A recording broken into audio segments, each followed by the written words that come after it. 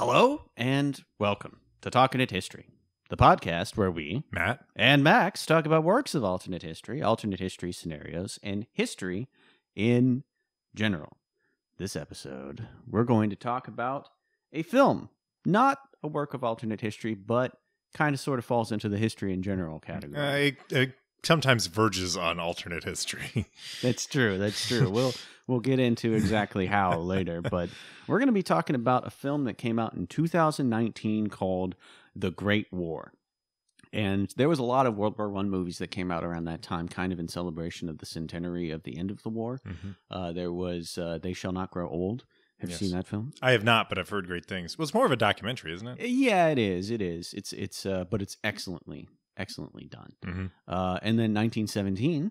Which I also haven't seen, which I can't believe, but it looks amazing. I've actually seen like about five minutes of it, and it was really, really good. Yeah, yeah. The production values on it are insane. That's right. Passchendaele. Passion. We, yeah, that one's okay, I guess. Uh, I watched a, a bit of it while um, while editing the previous episode, and uh, it's okay. yeah. It's okay. This movie It's is Canadian. Uh, yeah, that's the biggest flaw. It's just full of Canadians. Ugh.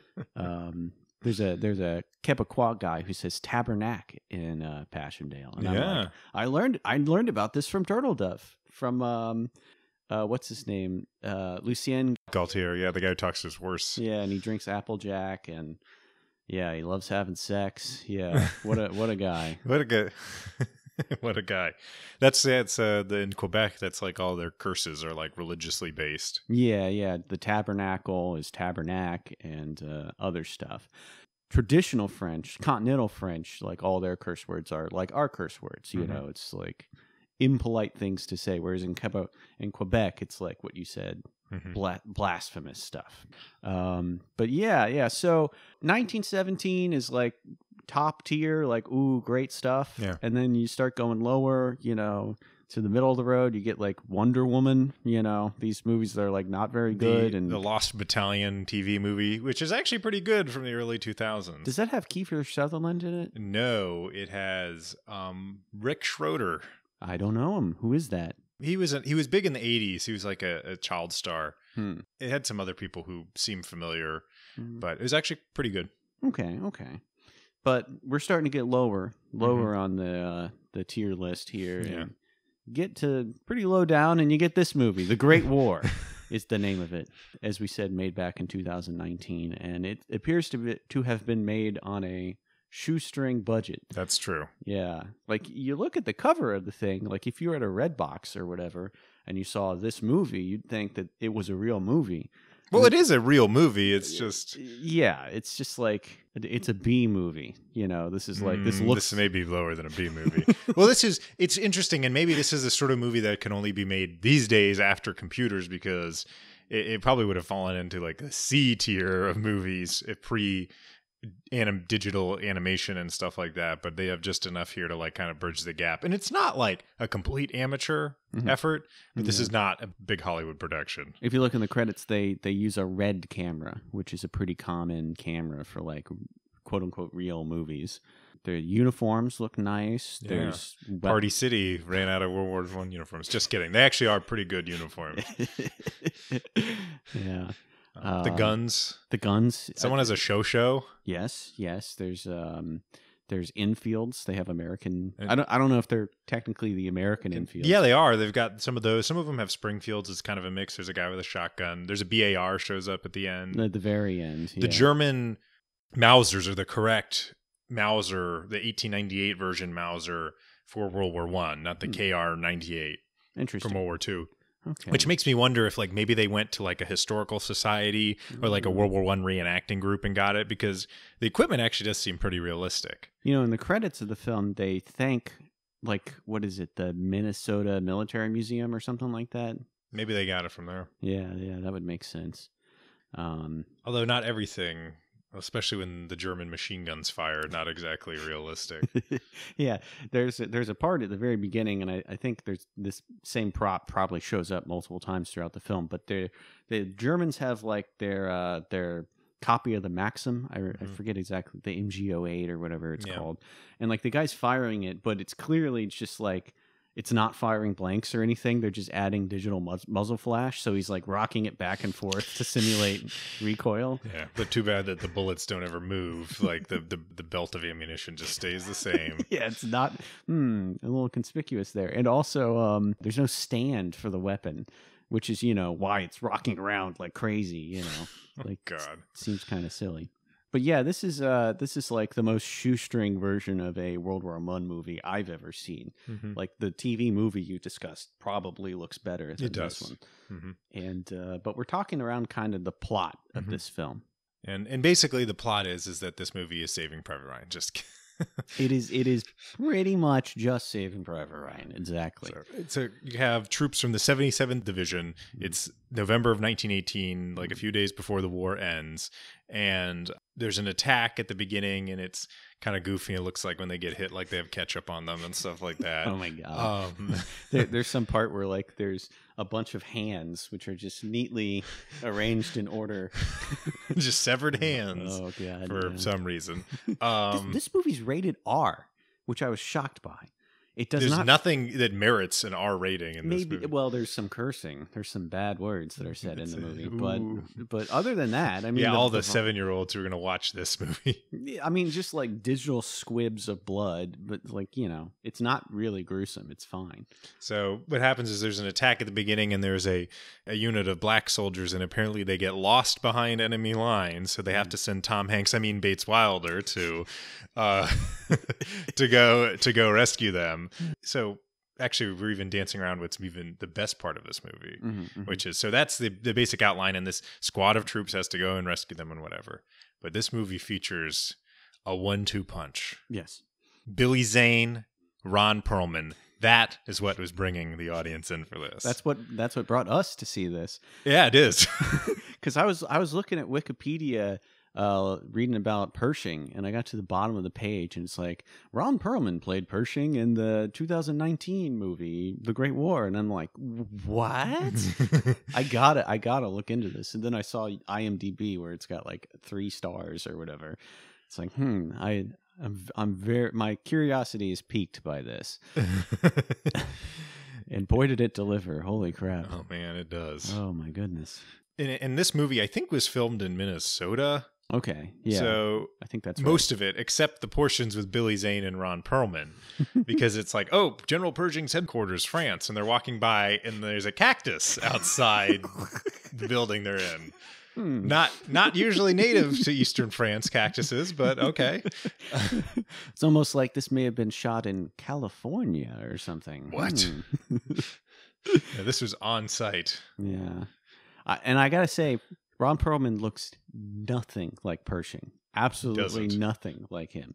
Um, He doesn't act like it. yeah, yeah. Oh my God. Perlman's so dour in this movie. He does like almost no emotion. There's a scene, there's a complete ripoff of Saving Private Ryan where he reads some letter from Abraham Lincoln Mhm. and uh, he's just taking forever. He's like probably actually reading it for the first time on that piece of paper. it's, it's ridiculous. Yeah, it's yeah, it's such a. I mean, almost at times is almost like a shot for shot rip off of Saving Private Ryan. There's a part with the grenades where it's like throw them now. Yeah. Uh, Oh my you know, that God. I half expected them to be like Bangalore torpedoes, you know. And the sniper stuff at the end where he gets Yeah. shot through the scope, though it doesn't look as good as Saving Private Ryan, of course. yeah, because the guy who directs this isn't exactly Steven Spielberg. No. But uh, Billy Zane shows up as this unnamed colonel who just is an exposition tool for Ron Perlman. I feel like they shot their scenes in a day because it feels like they took whatever the first take was and they're like, "This is great. We got you for the next thirty minutes, so let's get the rest of this finished up." Mhm. Uh, I I was shocked. Billy Zane has billing above Ron Perlman in this movie. It's crazy. What? Yeah, he appears first in the credits. It's nuts. That that does just not seem right, It's Max. it's completely unfair. I mean, have you seen this man's work? He's incredible. You know, Alien Resurrection, Hellboy two. Hellboy two. Um, You can tell them the cool story about that time Wesley Snipes cut him in half like a hot dog in Blade 2. There's uh, Enemy at the Gates where he gets shot in the face in that movie. He does, yeah. yeah. Um, He's great. Yeah, he's great. Pacific Rim gets eaten by a monster. Yeah, but he but he survives. He does survive. Yeah, he does not. He's not on cinemorgue.com for that movie. That's right. Yeah. I'd forgotten about that website. It's a useful website, you know. Um, unfortunately, there's no IMFDB page for the Great War. This movie. They could have. They would have been a good one for it because Yeah. they're actually their guns are actually pretty accurate, other than the whole not shooting part. Yeah, But yeah. um, but yeah. So generally, generally, this this unit this has to go behind the lines to find this black unit, and of course, there's a black soldier from that unit who has to go with them, and then there's like, you know, people are racist against him, but not the captain, and then Yeah, the captain's like he's kind of in the middle, and he learns the value of these men as soldiers by the end of the film. At the beginning, he's kind of doubtful. He's like, Mhm. uh, "Are these guys really effective? Are these Buffalo Soldier guys really up to mustard? Up to muster, I should up to mustard. Up to mustard. up to Heinz. Um, um, there, yeah. There's you mentioned racism. There's a character in this movie that's ridiculous. He's like an American commanding officer, and he's like, "You should leave those men to die on that hill. There's, and they have no right being Yeah, here." exactly. It was like this, like overly gratuitous, not believable. Like, regardless of your personal feelings, you're part of the American military. You're not rooting for the Germans. He's like rooting for the Germans to win. Yeah, yeah, like you should be like court-martialed for saying something like that. I mean, you know, that's willful like Treas- sabotage. Yeah, treason against the state of Nebraska. Exactly. Yes. um there's goodness gracious they do i mean it's interesting they do get some stuff historically right very little but pershing talks about how he commanded the 10th cavalry Mhm, mhm. at san juan hill Yeah, yeah. He's like, I owe these black soldiers because I've seen them perform well in the past at San Juan Hill. It very surprising. I, I was I got to give the the writer and director props for that. hmm Uh, what was his name again? stephen luke Stephen Luke. Yeah, he appears to also be an actor as well. Mhm. I think he appears in his own films sometimes. yeah he's made other stuff i guess um but it's uh it's and funny in this too is is that um talking about the ron perlman there's a scene where him and billy zane like walk out and they're like looking up and they're like watching this horribly rendered cgi like air battle um with world war one planes and he's I think he says something like, "Now that's real war right there." And you're watching these horribly goofy like these triplanes Yeah. spinning around in circles.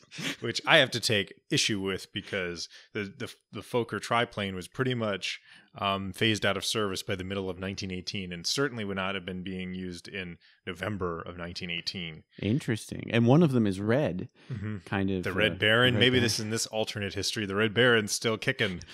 Uh, but yeah, but it's just like oh god, it's just the most terribly rendered CGI like of all time. Yeah, we we were having a pretty good laugh at it. It reminds me of those scenes in at Antietam in Gods and Generals with like the unfinished like soldiers. And Oh, stuff. with the the cannons. Oh my god. oh, so bad. But um, these so this unit goes to find these black soldiers who are holding a hill, and as they're going there, they have like you know in Saving Private Ryan, there's the scene where all the soldiers are walking and talking and all that. They have an imitation of that scene. And that's that scene uh, looks normal until you notice that they're not actually walking forward; they're just kind of shuffling in place. like they're mo- moving maybe two or three inches forward every like ten seconds or whatever. it's ridiculous.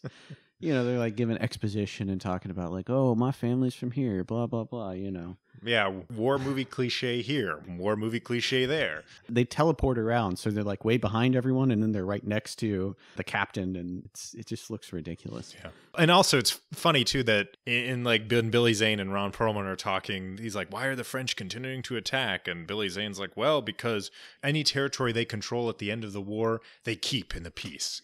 And then it's like, this is supposed to happen in the the Meuse Argonne in 1918, which newsflash was in France. there was very little fighting in Germany itself in World War One, and that was certainly not part of the armistice. This finders keepers that offended me, Max. I was very offended. That's like the French saying we get to keep more of our own country. It's insane. Like like they'd give away parts of France to the Germans just because like, like at the end of World War II, I'm sorry, Dunkirk. It belongs to Germany now. Yeah, Finders keepers, you know. That's right. The Germans are holding on to it at the end. America and France and Britain are going to con- control this big chunk of Germany, but Germany still got Dunkirk and they still got uh, Saint Nazaire. the Nazis are still going strong right there.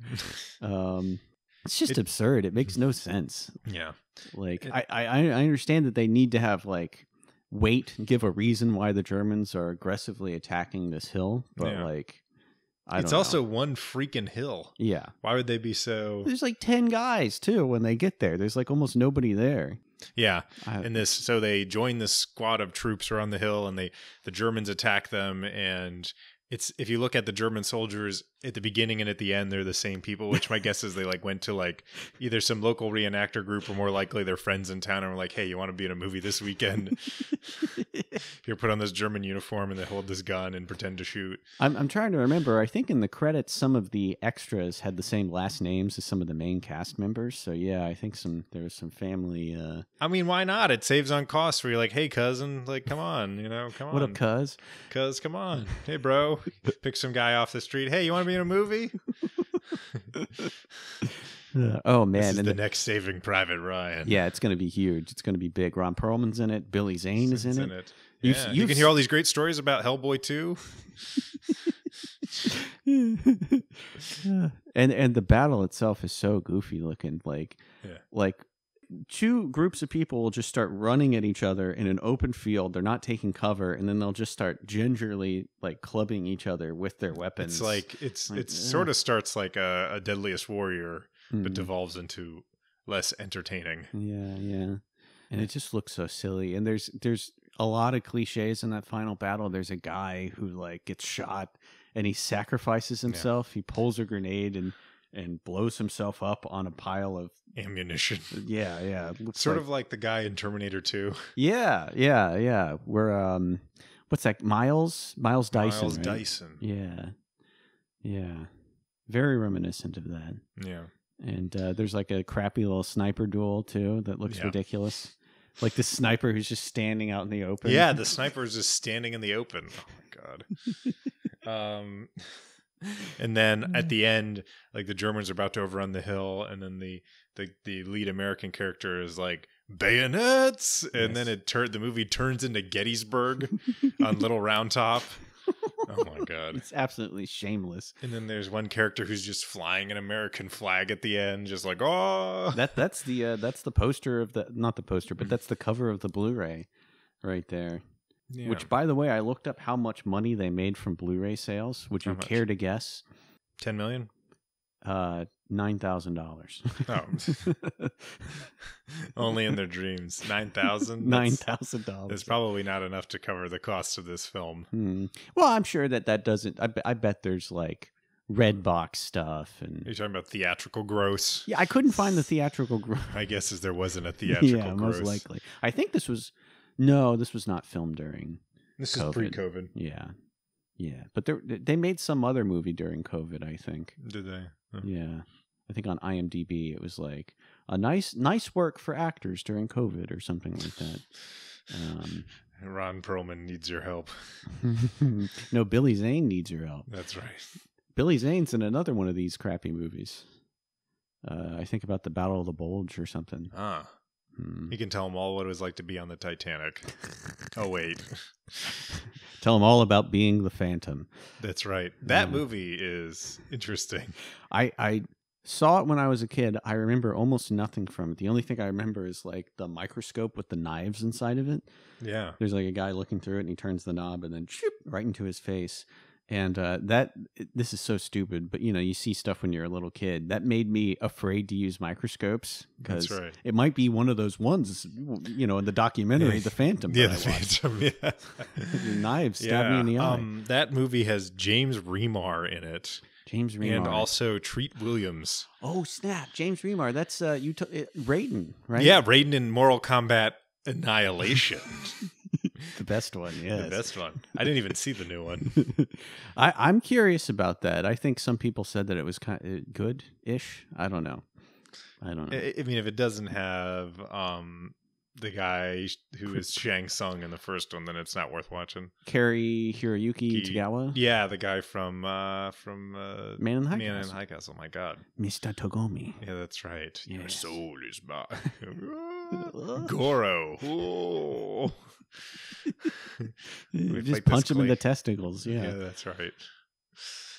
that's the Johnny Cage way. That's right. Um, until he gets eh, killed at the very beginning of the second movie for no apparent reason. Oh yeah. Too bad you will die. yeah. What, a, what a film. What a what a yeah. Mhm. Oscars for everyone Mhm. Christopher Lambert. In the know? first one. Yeah, in the first one, right? Yeah. Is it is it Christopher Lambert? Christophe, I think it's Christophe Lambert. Christophe Lambert. Okay. Okay. Interesting. He was also in the movie Highlander with Clancy Brown, the voice of Mr. Krabs. yes. Well, Clancy Brown's Clancy Brown is in um, Starship Troopers. he is star. He's in Starship Troopers. And the great thing, I'm glad you brought that up because I was Mm. thinking about the other day. Like I was thinking about like what is like a um, what's like a guilty pleasure movie that I love watching. Mhm. Starship Troopers. Okay. That okay. movie is actually I enjoy watching that movie. Um, because of the acting of of uh, Casper Van Dien. Yeah, Yeah. exactly. No, what I like about it is is that if you think about it, as if that movie is like a propaganda movie being made in that universe about that war, Hmm. it actually makes sense because it's got like all these ridiculous war movie cliches in it. Mm, And um, what I like too is is that Michael um, Ironside Mhm. and Clancy Brown clearly know what sort of movie they're in. I mean, I just love there's that scene where they're in the fort fighting the the um the bugs and then Michael Ironside's like give them everything you've got in like the most movie cliche and then it just has this stirring score and they're all just like shooting and killing the is just like a- and like just his facial expressions and the fact that he nailed it. The there's a line right when they get into the fort at the beginning towards the end and with zero um sar- with zero sarcasm with complete believability looks at a guy turns to the camera and says they sucked his brains out um and put put that on like l- the uh, that that was that was it was brilliant. And the last time I watched it, I could not stop laughing because he says it. He just delivers it in the best possible way because this guy knows exactly what sort of movie he's in, and he nails it. And I loved it. another excellent performance of his. Total Recall. Yes. Yeah. See you at the party, Richter. Throw your arms off the side of the thing. he actually is great in that. Yeah, yeah. It's like um, God, it's so great. See When- the party, Richter. he's got his little motion scanner and he's shooting the rats. The rats, stuff. yeah. Him and that other guy. Uh, ooh, And then the bad guy in that is also the bad guy in RoboCop. that's right. Yeah. Bob? No, not Bob. I think it's Ronny Cox is actually the actor. Ronny Cox. But no, yeah. Cohaagen. Cohaagen. Give these yeah. people air, Cohaagen. Cohaagen. That that guy's also in Star Trek. Oh, Bob, but it is it is Bob in RoboCop. I'm cashing you out, Bob, you're fired. Five. And then like the thing goes away. Thank you.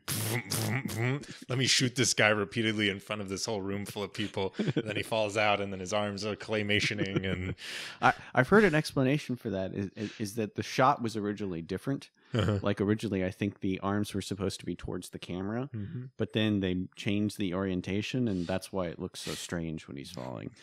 Like, you know, it was supposed to be like a forced perspective kind of thing. got it. But what are you gonna do? Yeah.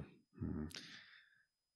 Mhm. Ah, yeah, good stuff. Well, Clancy Brown. yeah, Clancy Brown, he was great in that.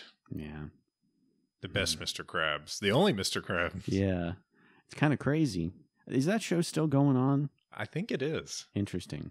Kind of like The Simpsons. It just goes on forever. Yeah, well, there's certain shows that like a lot of people you don't think a lot of people watch, but still get a ton of like tons of people still watch The Simpsons. I didn't. I mean, I don't watch it actively. I know people people do because they obviously keep on making seasons of it. I mean, shoot, there's like shows like um, I, th- I think like Grey's Anatomy might still be going on. think like it is. those kinds of like real Mhm. life drama shows that just go on forever. Yeah.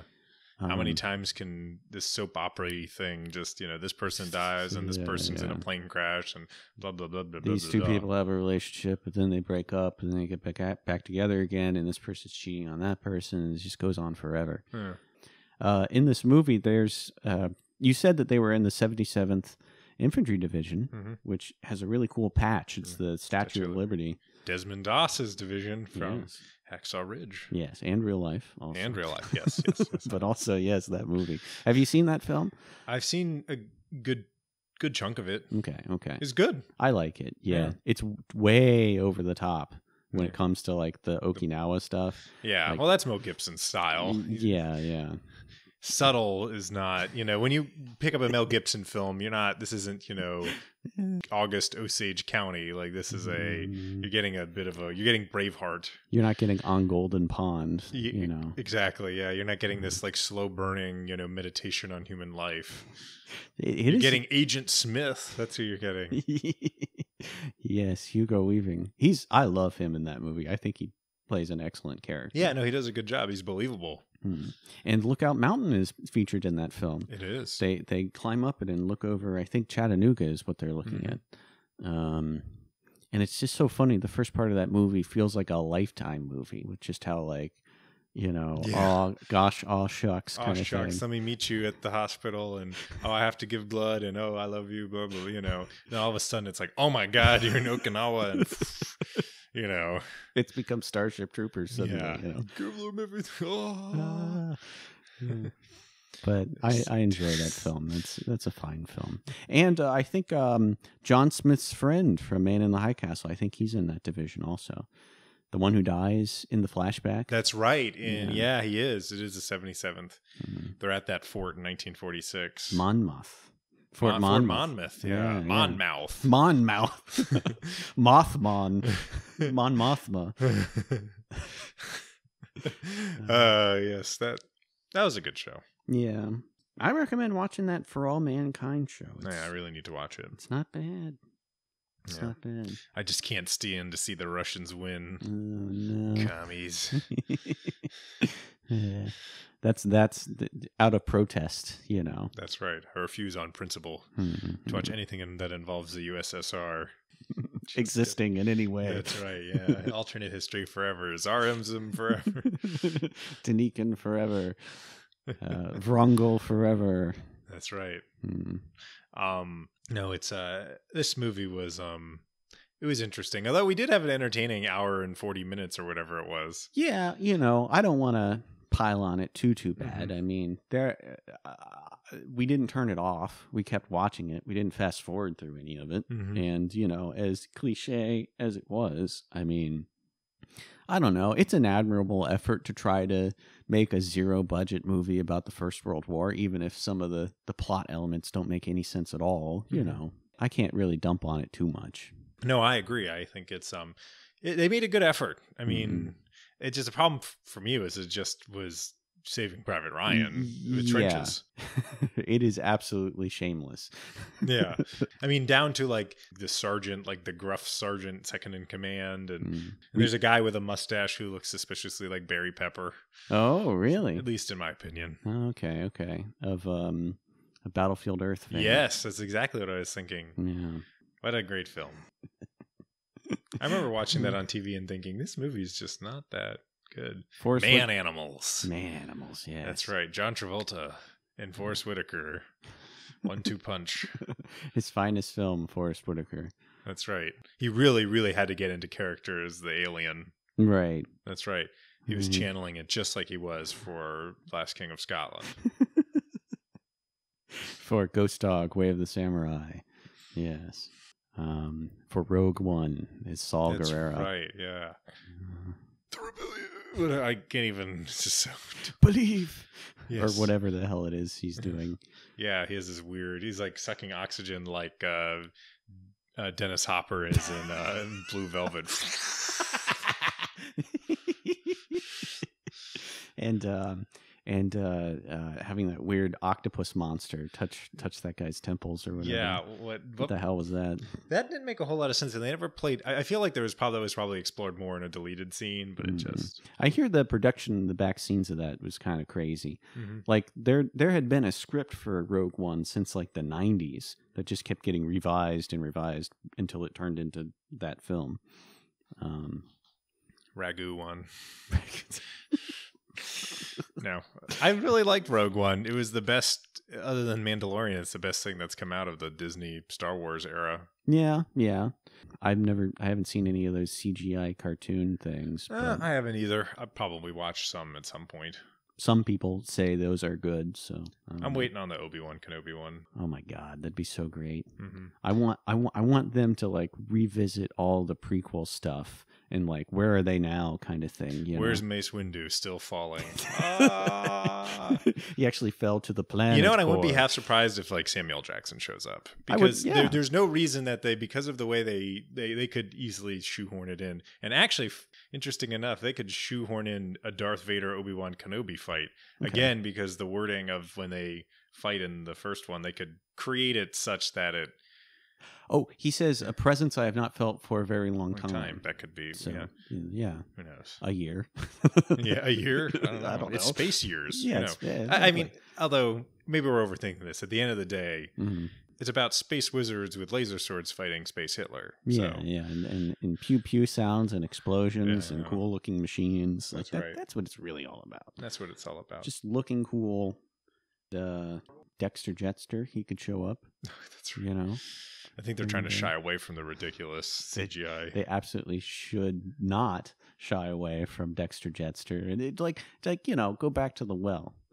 Sleazebaggano, have him come back. You know, I'm sure that guy still needs employment The- he was in the Matrix that guy yeah, yeah, the His tasty mouse. wheat man. yeah tasty wheat oh I think tasty wheat tasted like like chicken or tuna fish Yeah, very philosophical. Yeah, know, that's why everything tastes. They didn't know what chicken tastes like, so they made everything taste like chicken. which is not true. Wow, it, That's that's, not not, true true at all. It is not true. Yeah. Ever tried beef or Yeah. fish? Doesn't taste like chicken. Uh, but But- Well, the Great War. It was. I don't know if I'd call it a great movie, no, but it was. Uh, it was a movie. I wouldn't even call it a good movie, really. Yeah, But a movie, yeah, not a film. a film that I watched, you Mhm. know. And I'll leave it at that. Yeah. Well, I all thank you for listening. yes, thank you very much. This is Matt signing off. And this is Max signing off. Have a good day.